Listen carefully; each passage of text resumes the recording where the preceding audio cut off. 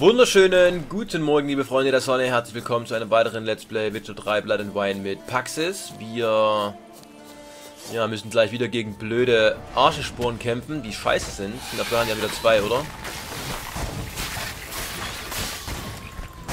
Och, ich Idiot! Wenn der einzieht, muss ich aufhören, sonst habe ich wieder Stress mit den Knospen. Und die ziehen am meisten ab. Nur eine Arschespore, das wäre natürlich cool. Fuck, da komme ich nicht so gut hoch.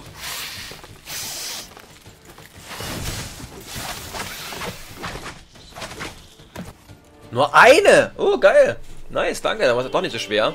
Was das soll, warum der jetzt immer stundenlang wartet, das war auf jeden Fall, ich weiß nicht, ob es bei Hearts of Stone schon so war, ich glaube nicht, ich bin mir nicht mehr ganz sicher. Aber bei ähm, dem Hauptspiel Witcher 3 war das auf jeden Fall nicht so. Wer da nicht die Stunde meditiert, das sind einfach drei merkwürdige Holzfäller aus dem Wald gekommen, die aussahen wie Banditen. Und dann war das Dorf wieder besetzt, Bums aus Nikolaus. Wobei ich sehr cool finde, dass immer noch so eine Geschichte mit auf dem Leichenwagen drauf ist, der quasi so ein bisschen erzählt, was passiert ist. Wo ist er denn? Da drüben. Was geht hier vor? Liste mit dem Siegel von Liam de Coronata. Bogdan, wir müssen außergewöhnliche Vorsichtsmaßnahmen treffen. Wir wissen immer noch nicht, wo diese riesigen Parasiten herkommen. Stell deshalb zusätzliche Wachen auf. Lass Tag und Nacht... Was ist das für ein blödes Geräusch hier? Lass Tag und Nacht Fackeln brennen und lass die Feuer nie ausgehen, denn diese wilden Pflanzen mögen kein Feuer. Vergiss nicht, dass unser Herbarium bald wichtig ist. Ohne die Aromen, die du uns besorgst, können wir die Produktion des Gewürzweins niemals fertigstellen, in den wir so viel Hoffnung gesteckt haben. Ich weiß, die Männer haben Angst und wollen nicht arbeiten, doch statt den Stocks, von dem du offensichtlich sehr gern Gebrauch machst, solltest du den Leuten sagen, dass ich den Lohn auf 2 Kronen erhöhe.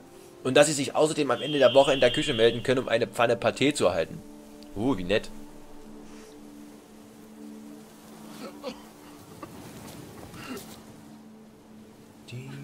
Was geht hier vor? Das war's, oder? Wir können... Ach, das ist irgendein nerviger Vogel, glaube ich. Hm? Der dieses blöde Geräusch macht. Dann nehmen wir nämlich logischerweise das Fragezeichen als nächstes. Das ist auch gar nicht so weit weg, da können wir hinrennen. Und? Was haben wir davon?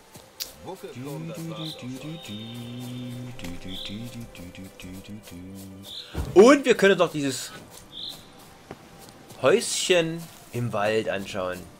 Ah, Banditen. Das ist auch gar kein Häuschen, das ist eher so ein Lager. Unterstell, irgendwas. Mal wieder ein paar Banditen, hallo.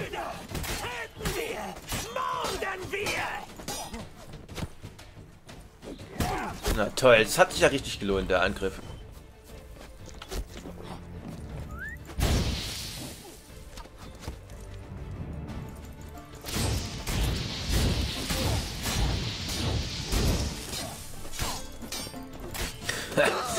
der einfach gar keine Chance hat. Sehr geil. Oh, ey, dieser starke Angriff. Ich setze den immer so falsch.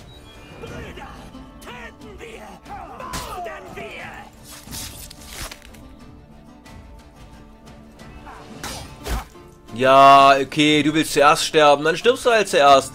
Ganz langsam, wir wollen nichts überstürzen.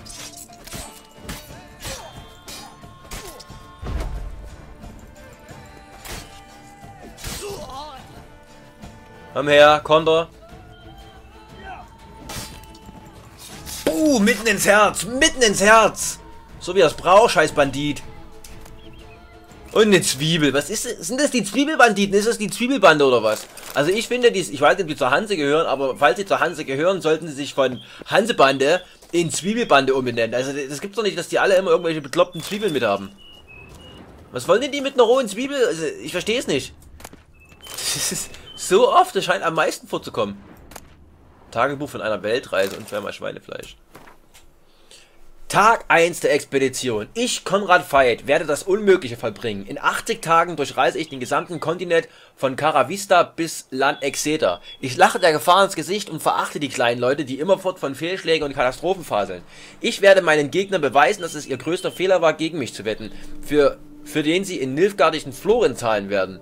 Tag 6 der Expedition. Ich bin noch immer im Beauclair. Meinen ursprünglichen Plan nach hätte ich die Stadt ohnehin umgehen müssen, denn ich liege schon zwei Tage zurück, doch verflucht sei alles. Mir fällt der Hintern ab von den endlosen Stößen der teuflischen Wagenbank. Zwieback und Dürrfleisch kann ich nicht mehr sehen. Ich habe etwas Luxus verdient. Ich werde da daher die berühmte Fasanerie aufsuchen.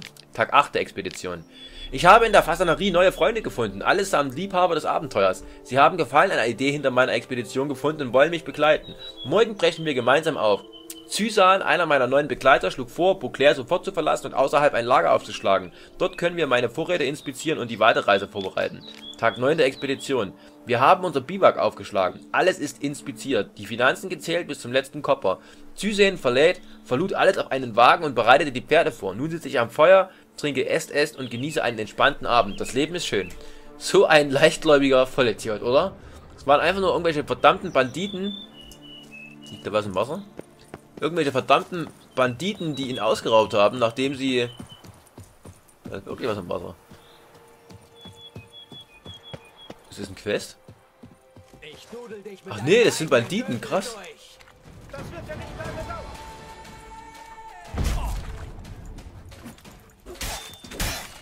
Ach so, und der versucht wegzurennen, weil er, also wegzugehen, weil er...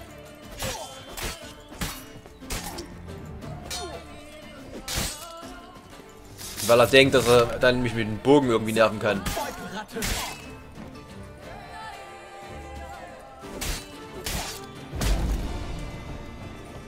Hä, du sollst... Genau. Er war aber ziemlich schwer bewaffnet, also da war ein fetter Montur, dieser Bandit, aber was die... Ach, Zwiebel, klar, die Zwiebelbande. Was die da gemacht haben, haben die gewartet, dass, dass jemand kommt. Ach, ist es der Wagen von dem Weltreisenden? Kann das sein? Pflaume, Birne, Silberborn, Meisterrüstung. Schön, aber ich schon mal Meisterwaffen. Fällt mir ein, wir müssen mal gucken. Es müsste doch eigentlich langsam... Ach nee, Quatsch, wir hatten ja erst alles reparieren lassen bei, bei einem ähm, Scheuklappen der fünf Rittertugenden. Scheuklappen der fünf Rittertugenden. Wo war das denn nochmal? Ich vergesse mal, wo das drin ist. Hier. 60 Panikstufe, 60 Panikstufe. Ja, dann können wir ihm auch das geben. Sieht, glaube ich, cooler aus. Das war's, okay. Ja, das ist bestimmt der Wagen von dem Weltreisenden gewesen, wobei ich nicht ganz verstehe, warum der jetzt im Wasser liegt. Also, warum ist denn der da runtergefahren? Merkwürdig. Egal, wir haben noch nicht mal die Kiste hier eingesammelt.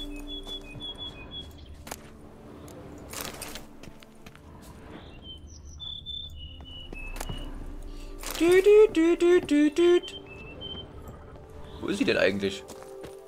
Da oben. Ziemlich großes Lager, was sie da aufgeschlagen haben. Ist das alles von den Weltreisenden gewesen? Die ziemlich Kohle gehabt haben. Unvollendeter Brief und Schlüssel zu einer Reisekiste. Philibert, wie du befohlen hast, sind wir zu Konrad Veits Expedition gestoßen. Veit ist wirklich ein erzdämlicher Lackel. Er wollte alleine von Caravista bis nach Land Exter gelangen und unterwegs noch nicht einmal Handel treiben. Er hat mir irgendwann, er hat mit irgendwem gewettet, dass er es in 80 Tagen bis ans Ziel schafft. Den Wagen hat er gerammelt voll mit Vorräten und am Kutschbock hing ein dicker Koffer voll mit nilfgaardischen Floren. Wir zechten die ganze Nacht auf seine Kosten in der Fasanerie. Ich habe immer noch Sodbrennen. Er hat keinen Moment gezögert, uns bei seiner Expedition mitmachen zu lassen. Und unser Vorschlag für der Stadt ein Lager aufzuschlagen hat ihn nicht im geringsten misstrauisch gemacht. Fast hätten wir unsere Arbeit erledigt, ohne uns auch nur die Hände schmutzig zu machen. Aber leider hat Zuzehen den Hammer nicht fest genug geschwungen, um ihm den Schädel richtig einzuschlagen. Der Idiot. Wie wohl besoffen, schrie und tobte und die Pferde gingen durch. Zu allem Überfluss waren sie auch noch eingespannt und zogen den Wagen schnurstracks in den See.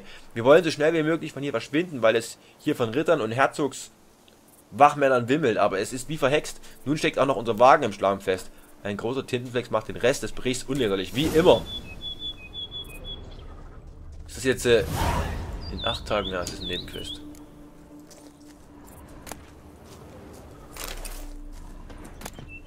Nehmen wir die Sachen mal mit, die braucht er ja sowieso nicht. Mehr, ist er leider tot. So. Gucken wir mal nach oben nach. Ich glaube, das haben wir noch nicht eingesammelt. Das brauchen wir aber auch nicht einsammeln. Das ist schon eher was zu essen. Mmh. Also eher am liebsten Eine rohe Zwiebel mit Schale und danach trinke ich auf, also, äh, äh, äh, am allerliebsten in, in Liter Essig. Richtig geil. Äh, gut, ich wollte gerade sagen, wir hätten ja vorhin schon mal hier tauchen können, aber da hätten wir ja gar nicht den Schlüssel, gehabt, von daher hätten wir es gar nicht geschafft, die Truhe aufzumachen. Oh, die, die ist ja richtig krass versteckt. Oi, oi, oi, oi. Das war knapp. Hühnerleber-Patete. Patete, Paté. Ach, jetzt müssen wir wieder das Quest auswählen.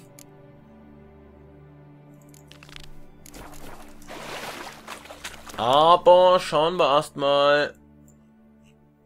Äh, naja, hier werden eh noch Haufen Fragezeichen sein. Da komme ich hier nochmal hin. Da brauche ich, denke ich, das hier nicht machen. Hä? Moment, wir müssen das andere Quest auswählen. So. Ach so, das gehört dazu. Ach, verdammt. Ja gut, da müssen wir da natürlich hingehen. Sorry, dann gehen wir da jetzt zuerst hin. Ja, wenn das natürlich dazugehört, dieses Fragezeichen, dann bleibt uns gar nichts anderes übrig, als es auch zu machen. Dann machen wir es direkt. Ja, kann man hier laufen, oder? Ja. Oh, liegt da oben was rum, oder ist es ein Tier? Das war ein Tier, okay. Ich dachte, es wäre ein Sack oder so. Ich habe schon den Reichtum gerochen. Was ist denn da los? Was sind das für Monster, die da aufpassen? Peter Patte, Flussübergang.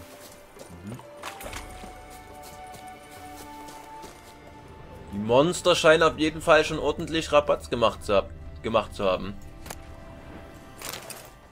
Färbemittel immer gut, sind verdammt viel wert. Warum, weiß ich nicht. Braucht ja eigentlich niemand. Oh, das sind doch zwei... Na, mir fällt der Name nicht ein.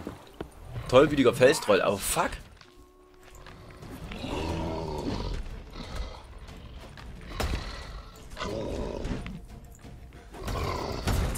Zwei vor allem, Alter. Das ist ja... Also, das ist ja... Schon nicht wenig.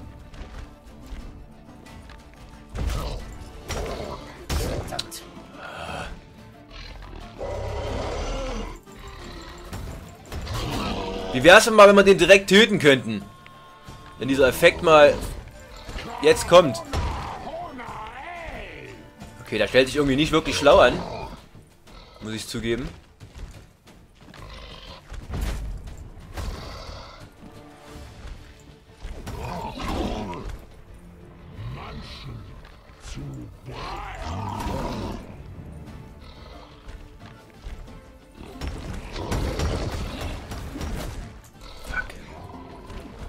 Aber er ist fast tot.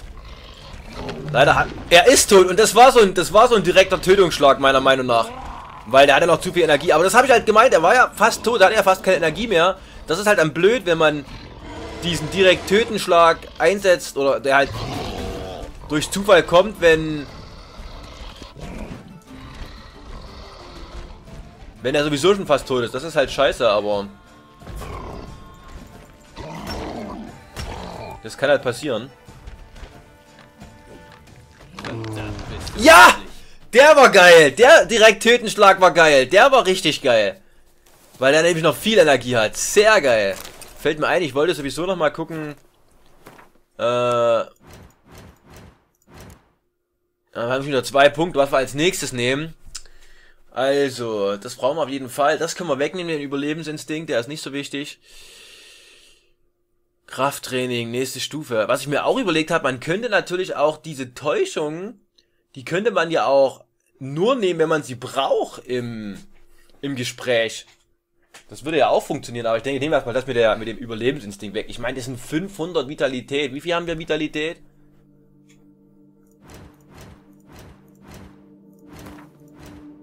Okay, falsche Richtung. Was? Wir haben insgesamt 3662? Ne, das ist Plus, oder? Das ist Plus.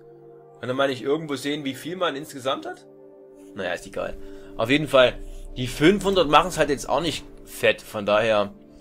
Aber es ist die Frage, was nehme ich denn, was nehme ich denn, was nehme ich denn? Das ist das, Entschlossenheit. Wenn Schaden erlitten wird, ist der Adrenalinverlust und... Ach so, das ist egal.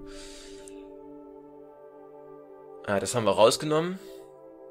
Ich habe halt überlegt, ob ich einfach sowas mache, aber ich nehme so selten in starken Angriff, den nehme ich zum Beispiel nie, wenn ich gegen Monster kämpfe, dass es sich eigentlich gar nicht lohnt, das einzusetzen, fällt mir gerade so ein.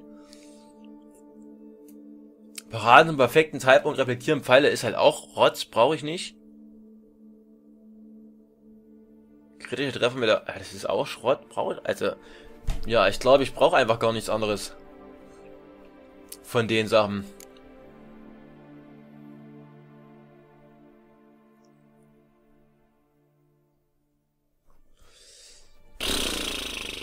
Ich überlege halt, ich, ja, ich glaube, davon nehme ich auch gar nichts. Ich glaube, Alchemie brauche ich auch nicht, also... Weiß auch nicht so richtig. Stoffwechsel, falls verfügbar werden, also die Vergiftungswirkung von Tränken. Okay. Ja, Macht, Orte der Macht findet man irgendwie fast gar nicht mehr. Wutkontrolle ist die aktuelle Ausdauer zu niedrig, können Zeichen mit Hilfe von Adrenalinpunkten gewirkt werden. Du kannst einen zusätzlichen Arm haben, bevor du nachladen musst. Essen regeneriert 20 Minuten lang die Vitalität. Oh, das ist krass, aber brauche ich nicht unbedingt. Fortschrittliche Pyrotechnik. Wenn die Explosion einer Bombe Schaden wird, erhältst du... Oh Gott. Du bist immun gegen die Wirkung von Bomben und Spezialbolzen. Adrenalinpunkte erhöhen den Waffenschaden und die Zeichenintensität. Adrenalinpunkte erhöhen den Waffenschaden und die Zeichen... Das ist natürlich gar nicht schlecht. Der ursprüngliche Effekt von Kriegstraumas wird aufgehoben, dessen wird jetzt die Chance auf kritische Treffer um 8% pro Adrenalinpunkt erhöht. Der Bombenschaden ist um 200% erhöht durch die Anzahl der Bomben auf den Plätzen um 50% verringert. Gilt nicht für Bomben, die keinen Schaden bewirken. Das maximale hm, Angriff ist die beste Verteidigung. Jede Defensivaktion erzeugt Adrenalinpunkte. Paraden 0,1 Punkte, Konter 0,4, Ausweichen 0,3, Rollen 0,2, kann nur einmal alle 5 Sekunden aktiviert werden.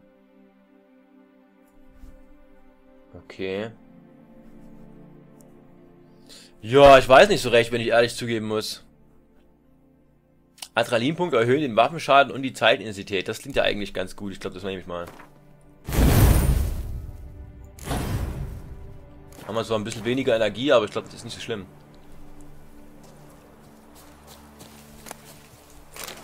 So. Brief an Cosmo Xyril. Bruder, genug des Zögerns, des Ärgerns, der Schuldgefühle. Liam der Coronada zahlt ja so gut wie nichts und du hast eine, Fa eine Familie zu ernähren. Also tu, was ich dir sage. Belade einen Wagen mit Fässern dieses neuen Gewürzweins und verlasse nachts leise das Weingut. Wende dich mit dem Wagen nach Nordwesten und sobald du den Fluss überquert hast, wirst du dort von Männern erwartet. Gib ihnen die Fässer. Sie müssen diesen Wein wirklich unbedingt wollen, denn der Vorschuss ist, eine wunderbare, ist ein wunderbarer schwerer Beutel. Aber sei vorsichtig, denn im Blessurtal sind zwei abscheuliche Felstroller auf der Jagd. Du fragst dich sicherlich, wie die Troller dahin geraten sind. Sie wurden importiert. Für das Turnier, damit die Ritter zum Vergnügen der Menge gegen sie kämpfen. Aber sie sind den Transport, dem Transport entkommen und ziehen nun morden durchs Land. PS, versteckt den Anteil des Vorschusses, den ich dir geschickt habe. Denn wenn jemand das Geld bei dir findet, werden Fragen gestellt und unser schönes Geschäft endet schneller, als es begonnen hat.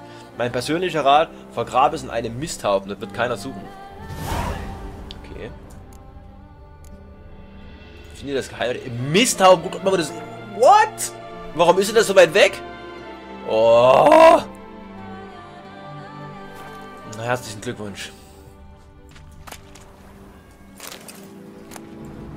Uh. Dann würde ich sagen, machen wir das Fragezeichen erstmal auf den Weg legt und gehen dann zum Misthaufen. Das Fragezeichen ist hier. Das ist auch automatisch ein Quest von der Weinfeder. Uh, 300, da können wir ruhig mal reiten. Plötzlich aus dem Wasser geritten gekommen, nice. Achso, deine Scheuklappen, deine neuen. Sieht das geil aus? Von der Seite sieht es irgendwie nicht so cool aus, aber ich habe jetzt auch keinen Bock abzusteigen, mir das von vorne anzugucken. Ist auch nicht so wichtig, plötzlich gefällt, sonst hat er nicht angezogen. Ja, zum Glück flaches Wasser.